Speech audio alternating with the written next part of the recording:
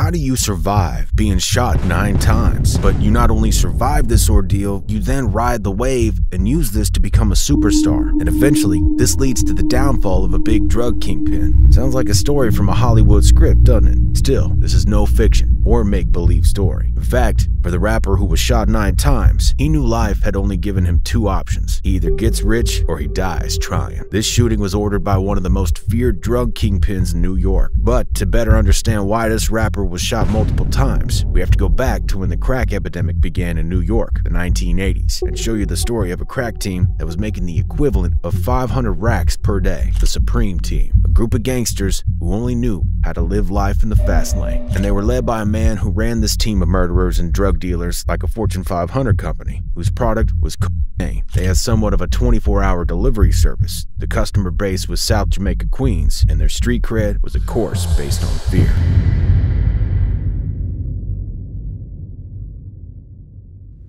The Supreme Team was started by a name known as Kenneth McGriff, also known on the streets as Supreme. And before we fully delve into Supreme's story, it's important to state that Supreme once said, The whole objective for me being in the game was to exit the game, but something's always going to drag you back in. Because while Supreme became a legend on the streets, ironically, he started hustling in the streets so that he could escape the streets. Although he became one of the most feared drug lords in New York, Supreme was born in 1960 into a blue collar family. His parents were New York transit workers, and his father is said to have also been ex-military. But none of this deterred Supreme from living a life of crime. Supreme grew up in the streets of South Jamaica, was described as an intelligent student in his high school years, smart, good-looking, and athletic. He even hoped to go to college and play football, but Supreme had the same problem that many young black men faced during this period, the temptation from the streets. Most of the men who he could refer to as role models or ones who were supposedly living the good life were all drug dealers. This was partly because most of the opportunities available for black men during this period were blue-collar or menial jobs. For many young black men who lived in this neighborhood, the drug dealers were the only tangible forms of success that they had access to. So he had two choices, break his back to get that hard-earned income or become the proverbial street hustler. His choice? Well, your guess is as good as mine. Supreme was recruited by the 5% Nation, a black nationalist movement that was influenced by Islam. He was given the name Supreme by the 5 percenters. The 5% Nation believed that only 5% of the world's population were truly enlightened and knew the truth about the world. 10% of the world's population are the elites who know the truth but choose to use it to oppress and extort the remaining 85% who are ignorant. The 5% nation then made it their mission to enlighten the ignorant 85%. But some members of the 5% Nation also resorted to a life of crime, and one of them was Supreme. Supreme always had a good eye for business, and he recognized the potential of the crack business to make millions. So he created the Supreme Team in 1981. The Supreme Team was a well-structured organization that was very successful under Kenneth McGriff's leadership, and this is why they were able to attract hundreds of members in a short space of time. They were primarily based in the Baisley Projects in South Jamaica, Queens. And the top member of the Supreme Team was Supreme himself, followed by Gerald Prince Miller, who was also Supreme's nephew. While Supreme was the brain of the team, Prince was the brute. Supreme always focused on the money and tried to sort issues through diplomacy and resorted to violence when there was no other option. But for Prince, he would rather shoot first and ask questions later. And like the movie Godfather, you could say that Prince is like Sonny, while Supreme is Michael. Only in this case, our Michael is two years older.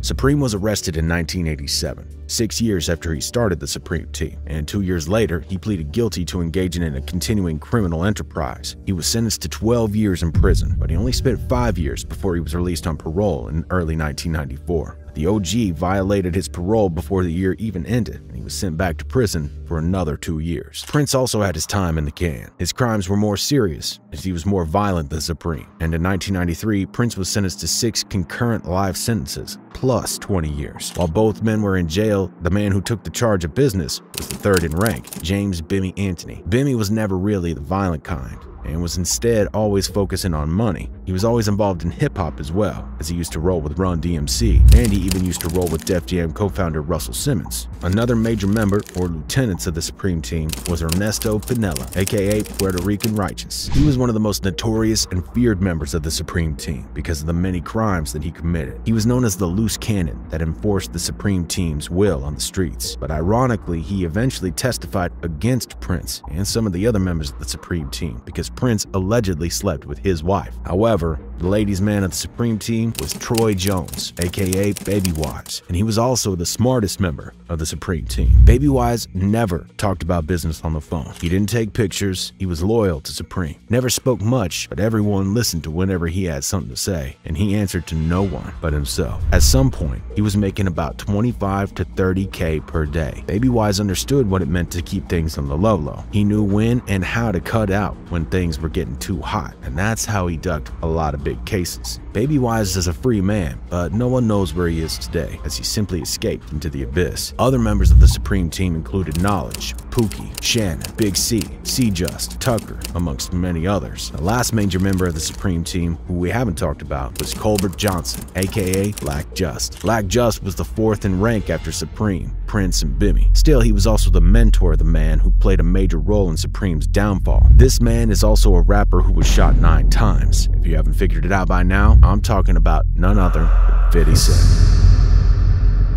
Before Fitty could release any of his timeless hits, he was just a young man on the streets who looked up to the members of the Supreme Team, especially Black Just, and of course, Supreme.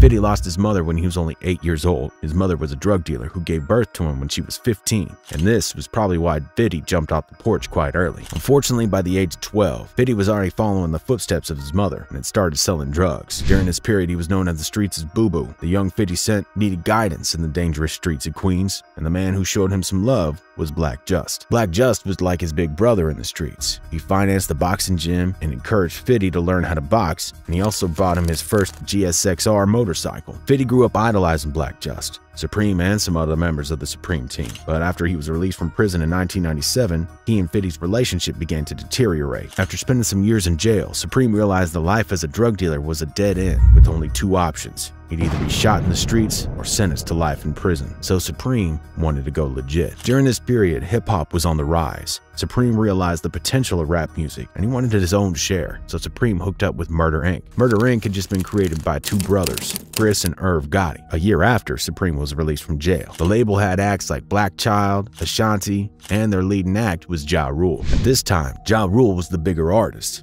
and Fitty was on the up and coming. They were never really friends, but they were cordial, even though Fitty felt Ja Rule was always cold to him. Ja Rule was bringing in the money, this is why Supreme joined Murder Inc., and he even described him as a meal ticket. Their partnership was based on mutual benefits for both parties. Supreme gives them street cred and protection from anyone who tried to mess with them in the hood, while Murder Inc. brings in the Benjamins, as he was trying to become a legit businessman. But you can only take the boy out the hood. You can't take the hood out of the homie. It was only a matter of time before Supreme had to employ some of his old tricks, and a good example of this was what happened in 1999. Ja Rule was robbed of his chain by a man named Troy, who accused Ja Rule of sleeping with his wife. So he reached out to Supreme to help him sort out the issue. Supreme ordered a man to help him get the chain back, and within 15 to 30 minutes, he gotten that chain back. And after some time, 50 Cent and Troy were in the club kicking it together. Ja Rule was also in the same club and saw both of them making jokes together. This was perhaps when their beef started. A friend of mine's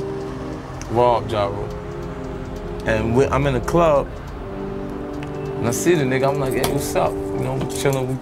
He see me kicking it with the nigga that robbed him, and he feel like, oh shit, I shouldn't speak to this dude, because I know the kid robbed him, but I know this kid, I grew up with him. When Fitty went to greet Ja Rule later in the club, he was allegedly brushed off by Ja and the entire Murder Inc. crew. And we all know that Fitty wasn't just gonna accept any disrespect like that. But before he was going to do anything about it, he spoke to Supreme about it because he knew that they were doing business together. But Supreme's response was, Yo, leave this little dude alone. You know they, but this is my food. And Fitty also confirmed that Ja Rule and his Murder Inc. homies were never about the street life even if they always claim that they were. Yo, 50, what's the definition of a wankster, man? I mean, what is that? Ja Rule, Irv Gotti. I'll tell you personally, the Murder Inc., the people that you see, like Irv, Ja, the people that are involved in the business aspect are bitches. Like, these niggas don't got no hood in them. Supreme told 50 Cent multiple times to leave him alone as they were his meal ticket, but the beef only got worse from there. Fitty and John met each other at the Swassattle in Atlanta, and they were both booked to perform at the same show, and this would be the first time the duo would get physical with one another. Fitty's manager Chaz Williams encouraged both of them to speak together and try to squash the beef, but this discussion turned into a fight as they both ended up exchanging punches. 50 Cent somehow ended up with Ja Rule's chain after this fight, and he wasted no time in letting everybody know about it. He dropped the diss song, Your Life's on the Line. and In that video, 50's wearing the chain that he took from Ja Rule, and this was obviously the ultimate disrespect. Supreme eventually collected the chain from Fitty and returned it to Ja Rule, but Fitty also got a gold watch in return. Ja Rule and Murder Inc. allegedly made several moves that made it difficult for 50's career to grow during this period, and on March 24, 2000, the beef got physical again. Ja Rule and Fitty were in the same building, but in different rooms. When Ja heard Fitty was in the Hit Factory studio not far from him, he convinced his homies to go in and jump him because he couldn't join him as he was on crutches. Fitty and four other members were involved in a fight with Black Child, Irv, and Chris Gotti, and some other Murder Inc. members. What's beef? Know what I mean? Beef is when you see a nigga in this studio or wherever and the nigga wanna talk and niggas was like, nah, ain't nothing to talk about, right? It's like five of us and five of them and niggas is getting it on and fighting and bong. Some way, somehow, the lights got hit, hit off and niggas was getting it on in the dark. Fitty was stabbed by Black Child, but somehow managed to survive. Black Child was arrested and a judge issued a restraining order against the members of Murder Inc. and in favor of Fitty. And this is what started the rumor that Fitty was a snitch. But what really turned Supreme and the rest of the streets against Fitty and also put a target on his back was the song Ghetto Quran. In the song Ghetto Quran, Fitty not only told a story, it's like he created a movie with words. But while this song has a sick hook and it's undeniably a classic, this is also the song that almost cost Fitty his life. Ghetto Quran is like a tell-all catalog in which Fitty mentioned every major drug dealer, hustler, and gangster in Queens. Everyone deemed him a snitch, and Supreme stated that his behavior could be construed as dry snitching. Fitty had also shown that he was never scared of Supreme. Now he was also creating problems for Supreme by letting more people know about his business, and that's when Supreme decided that he had enough. At around noon on the 24th of May 2000, 50 Cent's friend Curtis Brown was waiting for him right in front of his grandmother's house. When 50 got out of the house, he checked to see if there was anything suspicious before he got into the car. He sat in the back seat because the driver's girlfriend was also in the car. 50's friend then reminded him to go get his diamond cross pendant and on his way back to the car, Fitty also took his gun with him. He noticed a car arrive on the block as he got into the car, but he didn't think much of it. But as he hopped into the car, the killer got down from his own car and started making his way to where Fitty was. As Fitty handed the driver the jewelry, the shooter popped out on the left and started shooting. The bullets tore into his face, his arms, legs, hip, and chest. Fitty had a swollen tongue, a broken leg, lost his wisdom tooth, and this is what also led to his slurred voice. Fitty was kept in the hospital for 13 days before he was eventually released. Fitty was shot by a man known as Daryl Homo Baum, but it was later revealed that it was Supreme that put a hit on Fitty for 25k. And it didn't end there. Supreme made sure Fitty's debut album, Power of the Dollar, was never released. He also lost his deal with Columbia Records after the shooting, so Fitty surely had hit rock bottom as he tried to get revenge.